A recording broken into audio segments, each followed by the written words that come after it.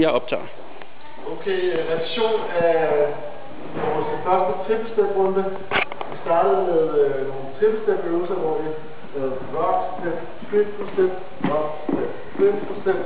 Og her der snakkede vi om, at det var vigtigt, at man bounce ned, det var ned og ned, rock, step, ned og ned.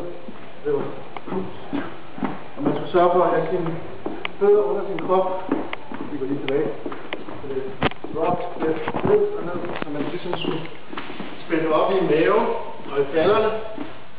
Så det var en helhed, men som pulsede med ned og ned.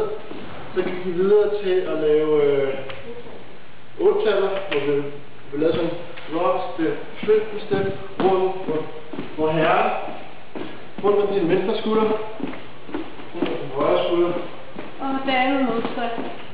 og det er også som at tænke på, bevæge sig frem og tilbage på flytstænden, og overkrop, der rundt der ned. Så gik vi videre til øh, Har det.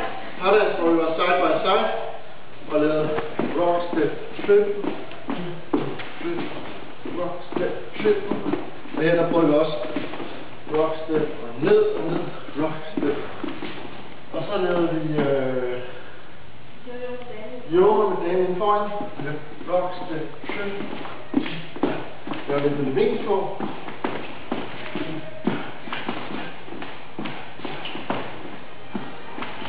Og så var det øh, med herren foran. Rock, step.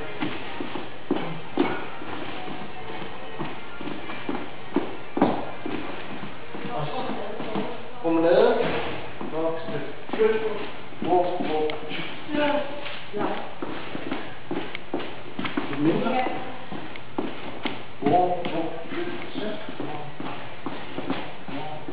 Og den sidste vi lavede, ikke? Det var circle. Surfing, ja. Den så sådan her ud.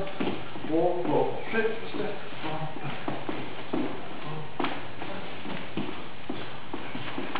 Det var det hele, så enjoy.